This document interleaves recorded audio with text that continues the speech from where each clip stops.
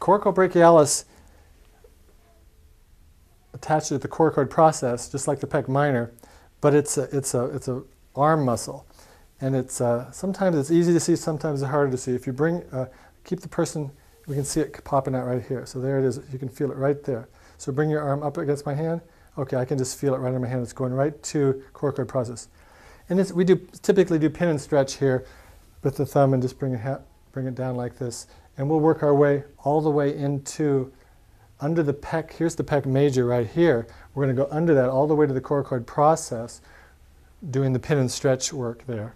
And this is actually can be a very important muscle to work with arm and hand pain because the nerves are right in this area as they're coming down into the arm.